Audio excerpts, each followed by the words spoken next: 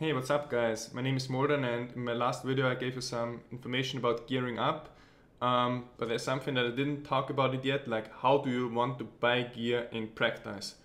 Um, now the latest video was more like theory, like showing you d3up.com, talking about EHP and so on, but reality is when you are, are looking for upgrades in the auction house, you don't have the time to always um, go to the internet, enter all the values, um, check your current gear, compare it.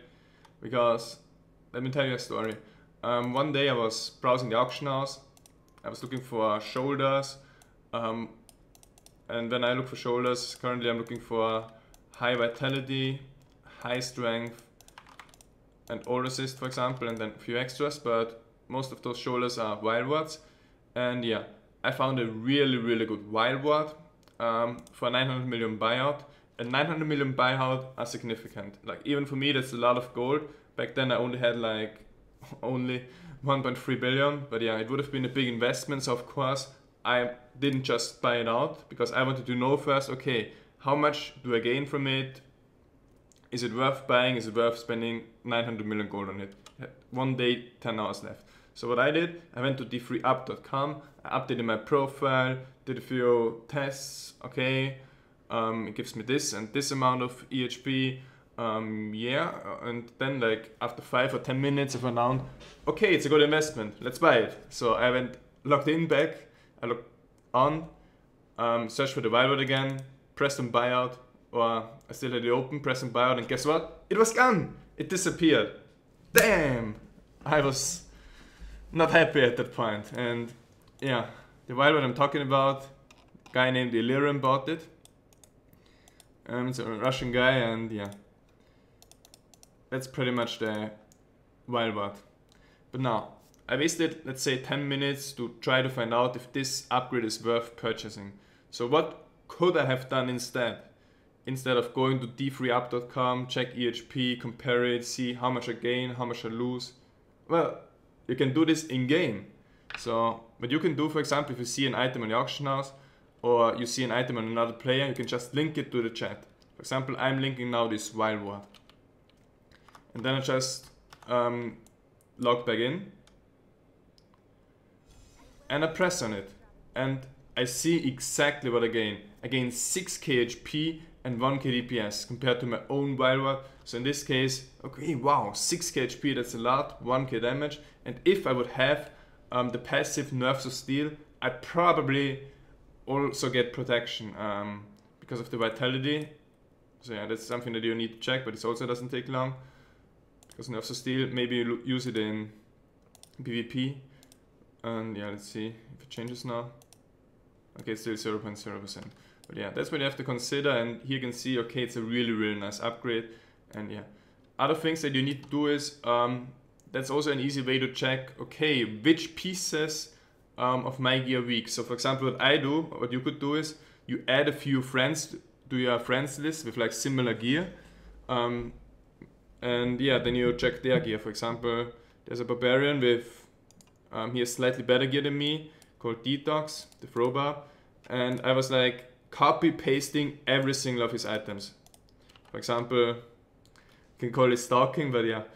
Um, for example, I was checking the gloves, checking the bracers, the neck, ring, just a few examples, boots, and yeah, that should be enough. And yeah, then you just click on it and then you can compare, for example, his Immortal Kings versus my Immortal Kings. Okay, I gain 0.4% protection because of the all resist, but I lose 7k DPS and 3.2k HP. I'm not gonna um, change my gloves for that. And then the Lacunis, for example, okay, I gain a bit of damage, but I lose 6.3k HP. I don't want to give up 6.3 KHP for 2.3k damage. Um, but yeah, then for example, you can see at the amulet, and here you can see, oh, I gain 8 KHP, 10k DPS, and 0.1% protection. Now the life per second isn't counted, but I also have to consider that on my amulet, um, I gain 800 life on hit. It's also something you have to consider because life on hit is not counted anywhere here. You have life, which is basically your HP, damage, damage here, and then you have protection, which is a combination of um, basically resistances, all resist, armor, and dodge. This is direct um, damage reduction that you get, and in my opinion, it values dexterity, um, dodge a bit too much because um, dodge doesn't help you against burst. If you die, it's mostly because you get bursted down in a short amount of time and not because of consistent damage. So I think it's better to um, value all resist better, even if you, let's say you have 100 million EHP, then the dodge would be better. But as I said, dodge doesn't help you against spikes or yeah. Okay, can also compare to my second ring. Ah, that was the amulet, okay. And then let's, for example, take a look at the Ice Climbers. Okay, Ice Climbers. Plus 2.4k damage for 600 HP. Hmm, seems to be a decent trade-off. But this case needs to be analyzed. So what I'm doing here is, okay, I'm gonna analyze all the stats. Um, so now, um, from damage and HP, it's around the same, I say.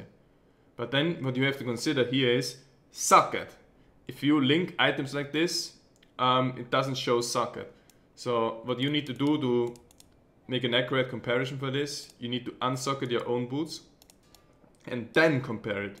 And now you can see, okay, I actually gain 7.5k or 7.4k damage plus protection um, just for just 600 HP. So I would say, okay, I would take his boots if I can, if I could. And also you could consider physical resist is generally speaking better than poison resist. And yeah, last but not least, um, the ring. Here, for example, it's a pretty good example. You can see plus 4.2k HP, plus 8.8k damage. This upgrade is huge. And one reason for this is this is not just a quad factor ring, but the, the plus damage, the part of the quad factor is really high. So this, especially I don't have any on my gear, I just have 23 min damage here. So this really helps to boost my DPS a lot. Um, yeah and also percent life. Like this ring is my dream ring. I lose 0.1% protection because the all resist is a bit lower, but and also like arm uh, the strength here also adds a bit to the protection value because strength also gives a bit of armor. And yeah, if you want to compare it with your second ring, you just press Alt and here the difference is even more significant. I lose 0.2% protection. Why? Um, this ring has 62 resist, this one has 59. So you are asking probably yourself, why do I lose 0.2% protection, which is, which is not insignificant, like this is already um, a decent amount. The reason is that 78 dexterity, like the 78 dexterity um, work in my case like 40 all assist and yeah, that's what I said before, or what I meant before. Um, like it's basically the same amount of damage reduction in the long term if you have like infinite but in a short term you wanna reduce the consistent damage that you take and not just um, have those lucky or unlucky dodge streaks yeah but yeah here you can see the difference 16k DPS just by an additional ring plus 4k life on top of that so yeah that's basically how I compare my gear. If I find it interesting, like the first step is to find an interesting upgrade in an auction house. Second step is to link it, unless you are already 100% sure that it's better. For example, if I would see this link on the auction house, I would need to link it, I would buy it right away if it's a good price. But yeah. Um, that was basically the second part, practical. Always link the items in chat. Always compare them, see what you get, see what you lose, and yeah, um, keep in mind other people are using the auction house as well, and so you don't do the same mistake that I did. I lost that Vile Ward that I would really like to have now. And yeah, thanks for watching, and I'll be back.